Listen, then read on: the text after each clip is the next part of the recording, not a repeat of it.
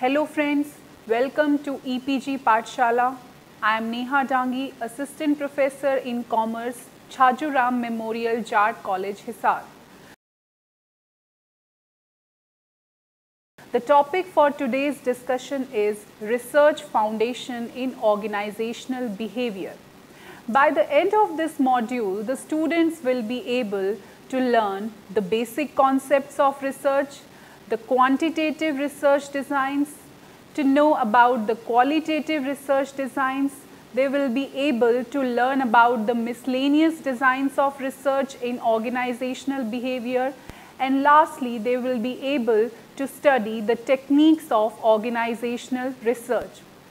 Let's start with the introductory part of the research. Research may be defined as the systematic collection of information and facts. The main objective of research is to help an individual to search the truth. Research always adds to the continuing knowledge.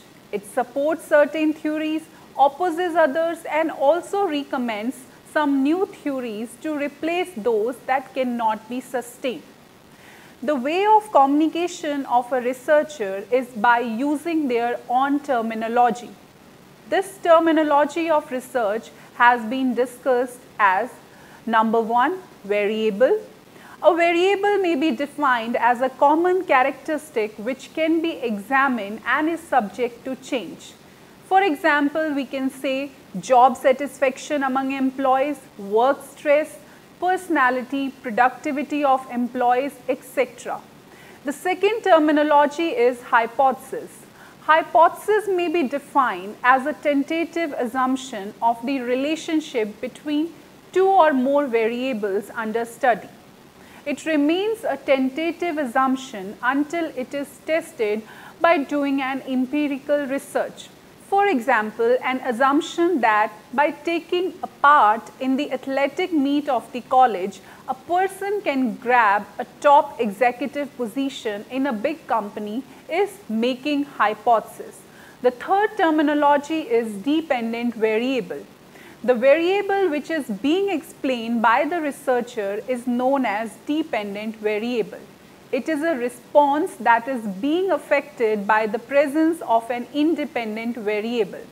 The examples of dependent variables in organizational research are job satisfaction, productivity, absenteeism, turnover, etc. Next comes the independent variable. The variable which is responsible for bringing about an assumed change in dependent variable is known as independent variable. The examples of independent variables in organizational research are motivation, rewards, selection methods, leadership style, experience, etc. Next is the controlling variable. The variable which decreases the effect of independent variable on the dependent variable is known as controlling variable. And the last one is causality. Causality implies cause and effect relationship between the variables. A change in independent variable will cause a change in dependent variable. For example, behind happiness of an employee there can be an assumed cause of high productivity of the employee. Now we will discuss about the research methods in organizational behavior. Research is very important in every field as without it answers to problems will merely be on the basis of presumptions. Organizational behavior uses various research procedures for the study of behavioral problems. The researchers in organizational behavior, they make use of both quantitative and qualitative research designs for conducting their research work. These research designs can be discussed as number one, quantitative designs. The most popular quantitative research designs which are being used in behavioral research are number one, correlational research. The relationship between two or more variables is termed as correlation. Productivity, communication, leadership styles, job satisfaction, motivation are all variables in organizational behavior. all correlations are practically calculated with the use of Pearson product moment correlation. The abbreviation used is R and it ranges from 0 to 1. The number 0 shows no correlation and number 1 shows a perfect correlation. Therefore, greater the number, stronger will be the relationship between the variables. A negative correlation implies that one, one variable increases, the other variable decreases. One can make prediction of the amount of one variable more accurately by knowing the level of the other variable if the correlation between the two variables is higher.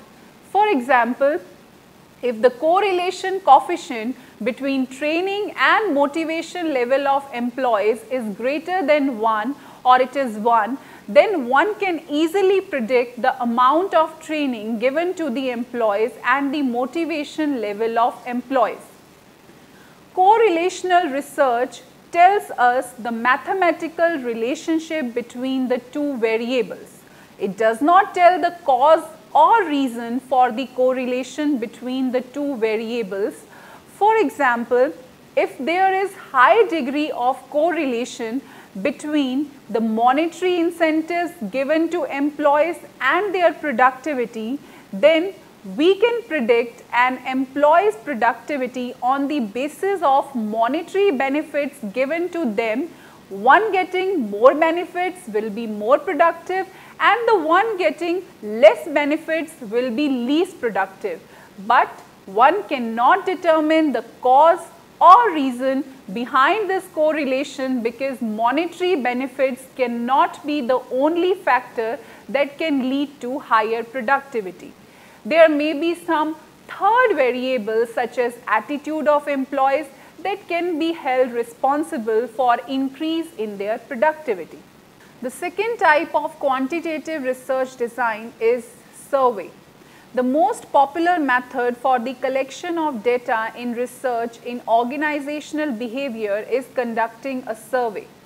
A survey is conducted with the help of a questionnaire in which the written responses of the respondents are being recorded. Now we will discuss the merits and demerits of a questionnaire. First of all, the merits of a questionnaire. Number one, economical. It is the most economical way of getting written responses from a large group of individuals. A set of questions can be drafted and several copies of those pages can be produced and distributed at a low cost. The second merit is uniform procedure. There is a uniform procedure of asking the questions to every respondent. Third is wide coverage. A large number of individuals can be covered with the help of a questionnaire. Now we will come to the demerits of a questionnaire. Number one, rigidity. Questionnaires tend to be rigid or inflexible. Sometimes the information does not give the idea which an investigator wants as the questions are in yes or no form. This problem can be solved if these are designed in a skillful manner. Second is, it is subject to demand. The respondent sometimes tries to interpret the questions from the wording title and effect of earlier questions and give their answers accordingly. Thus, a questionnaire is prone to demand. Third is negligence in designing and administration. Sometimes there is negligence in design and administration of a questionnaire because of its ease in writing. Number four is incomplete responses. The respondents do not provide complete answers to questions and sometimes they return the questionnaire without duly filled responses to the questions. And the last demerit is wrong interpretation. There is also a chance of wrong interpretation of questions by the respondents even if proper care has been taken by the researcher in framing the questions. The third Quantitative research design is factor analysis. Factor analysis may be defined as a statistical measure which shows the extent to which two or more variables are related. It also reveals the amount of clusters which exist in a group of variables by exhibiting the variables which are linked with group. It means which variables are so powerfully correlated with each other that they denote some common characteristic, skill or factor. For example, let's take a group of employees and the five variables which are to be measured that is performance, motivation, incentives, age and health. Make an assumption that the first three variables are strongly correlated and they are not related with the last two variables. Thus, factor analysis shows the extent to which the three variables performance, motivation and incentive will form a cluster which is termed as loading. Now we will discuss the qualitative designs for organizational research. Number one is field study. The observation of an individual or an animal in a natural environment is known as field study. This method is used in routine when a research is to be done in organizational behavior to find out the correlation between two variables. In case of field survey, the individuals are ignorant that the researcher is observing them. This fact has raised some moral questions when the subject of research is human beings. Second type of qualitative research design is interview. Interview is the most common and most popular qualitative research design which is being used in organizational behavior research. The researchers in organizational behavior use this method to examine organizations at the top, middle and lower levels. There are several merits and demerits of an interview which has been discussed. Merits are number one, high response rate. In an interview, the response rate is high as the respondent cannot avoid the interviewer. A respondent can also be approached via telephone. Second is face-to-face -face conversation there is a face-to-face -face conversation between the interviewer and the respondents which helps in making an evaluation of the respondent's self-confidence, mindset, level of nervousness. The physical features such as dressing sense, postures, gestures and grooming can also be seen via an interview. Third is complete answers to questions. Complete answers to questions can be obtained with the help of an interview by setting up a connection with the respondents. Number four is high flexibility. A structured interview contains a pre-decided set of questions which are to be asked from every respondent. There is rigidity in this case on the other hand, semi-structured and unstructured interviews are flexible as an interviewer can ask any questions from the respondents. There are certain demerits of an interview also. Number one is lack of standardization. There is no standard procedure of taking an interview. It starts in the same manner but the interviewer is bound to change according to the behavior of the respondents. Thus, there is lack of standardization in case of an interview. Second demerit is biasness. An interviewer can be biased while interviewing a respondent on the basis of the physical appearance of the respondent. This prevents to bring any change. Third is it is expensive. It is considered to be a very expensive method of collecting information. The fourth demerit is uneasiness of respondents. Respondents show uneasiness or nervousness as an interview is a face-to-face -face conversation which hampers the responses which are needed to gather the information. The last demerit of an interview is uncertainty of being a reliable predictor. The success of a respondent in the interview cannot be considered to be a trustworthy predictor of his or her success on the job. The third type of research designs include both quantitative and qualitative research designs and they are known as miscellaneous designs. They include number one archival research. The type of research which involves the examination of people's present as well as past behavior is known as archival research.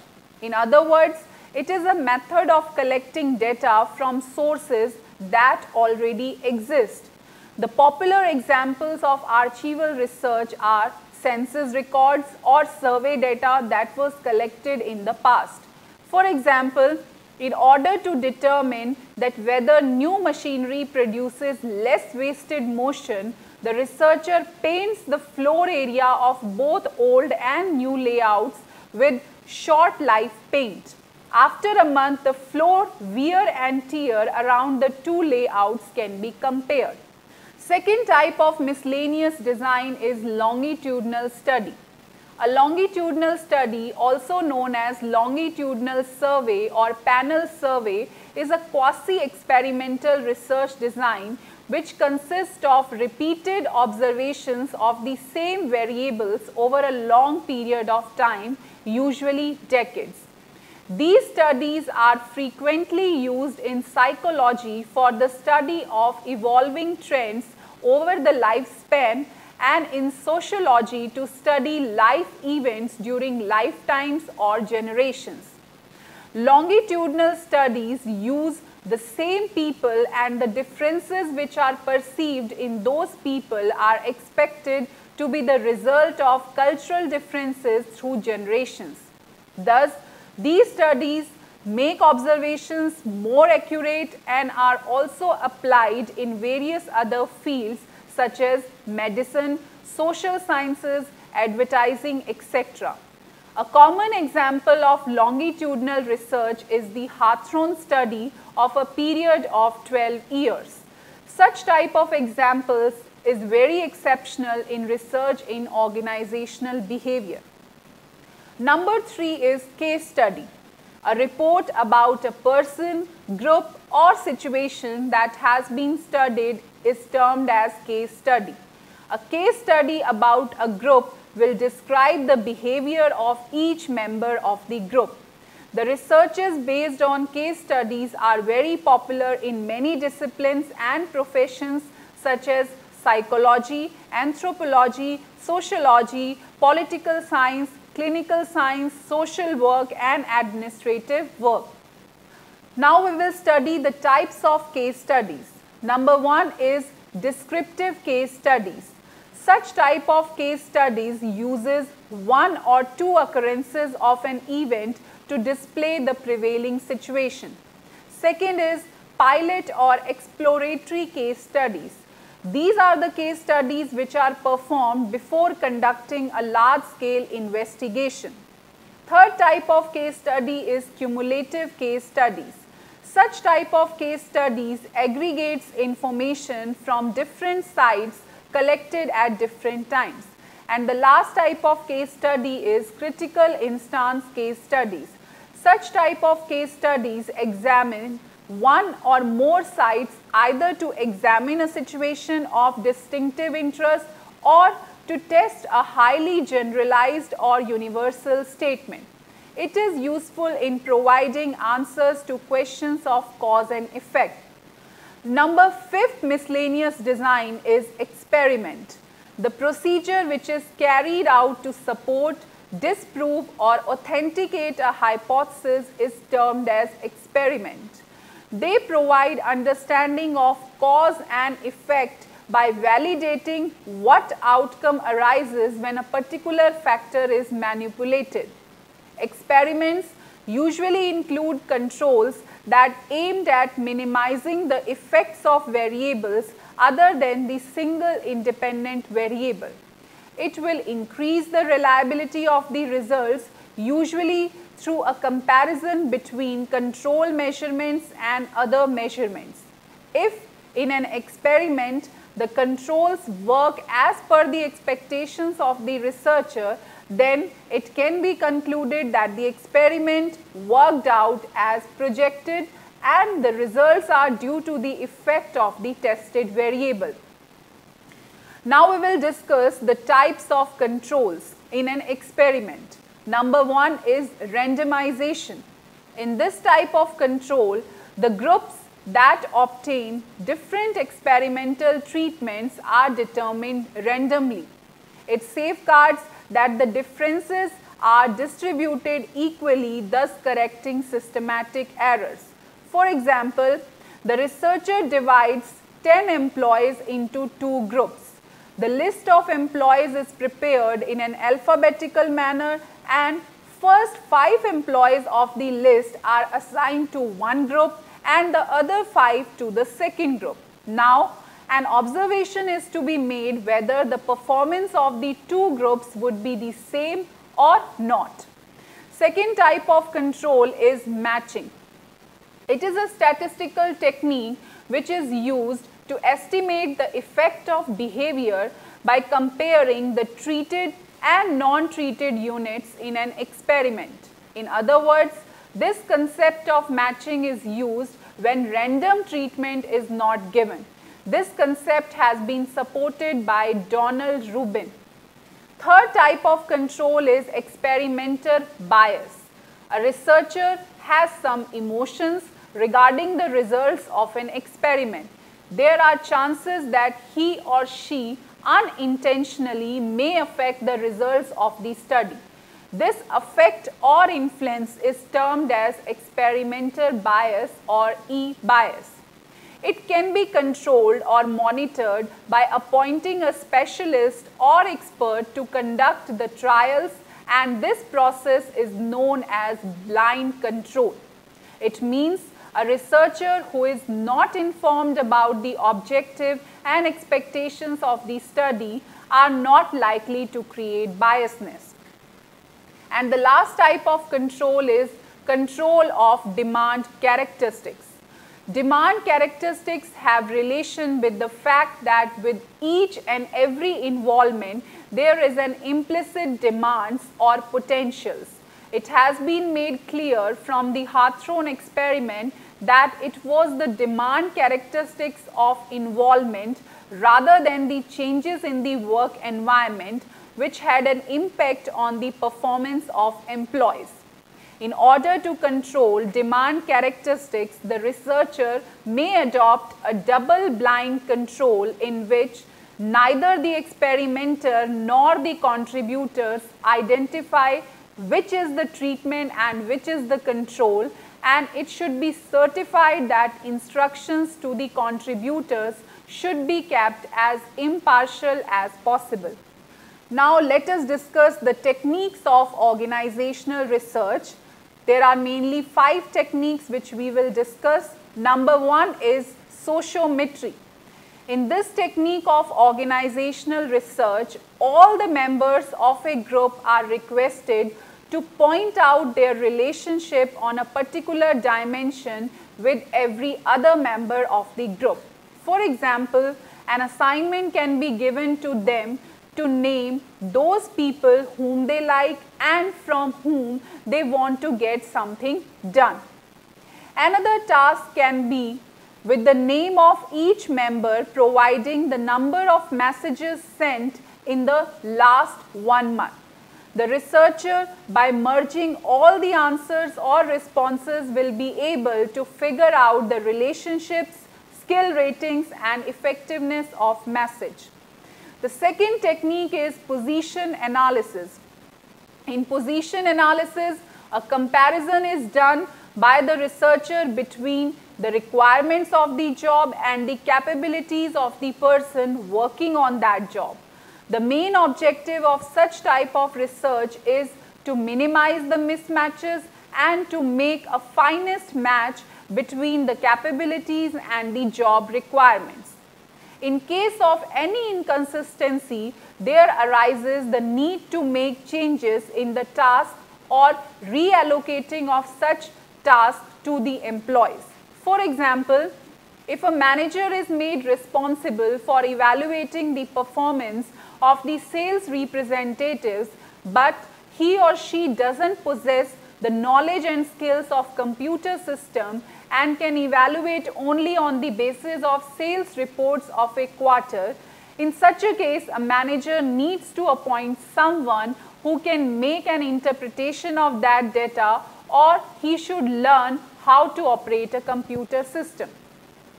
Third technique is communication analysis. In communication analysis, the path of the message is being tracked by the researcher in order to identify at what stage there arises a blockage or delay in the message.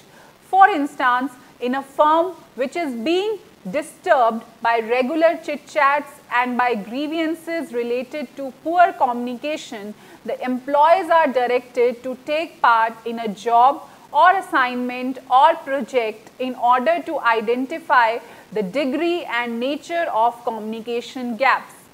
They are provided a form of communication record in which a listing is to be done of each hour of every working day for a week. A recording is to be made in the form about the type of messages received and about the level of person from whom the message was received. On the basis of such information, management analyzes and tries to find out the changes which are to be made in the communication system. A copy of the report after the changes is sent to all the members.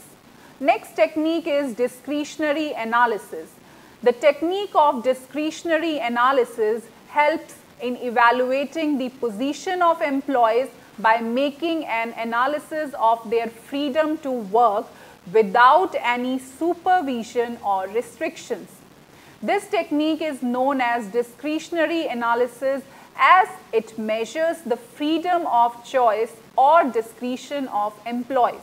For example, the employees may be questioned that in how much time they would be able to complete a given assignment without the supervision of their superiors.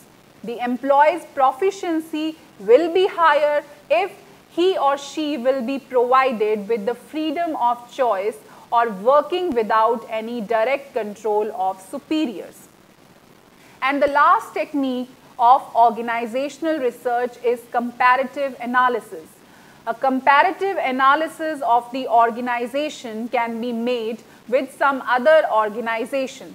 For example, the employees may have complaints regarding their non-involvement in management decisions.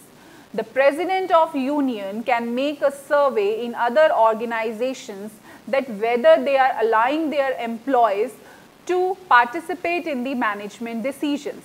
On the basis of that survey, a representation can be made before the management to appoint a representative on the behalf of employees that can be involved in the decisions of the management. Thus, it can be concluded that there are various research designs which can be applied in doing research in organizational behavior. Quantitative designs include Number one, correlational research. Number two, survey. And number three, factor analysis. On the other hand, qualitative designs include field survey and interview. There are also some mixed research designs such as archival research, longitudinal studies, case studies and experiments.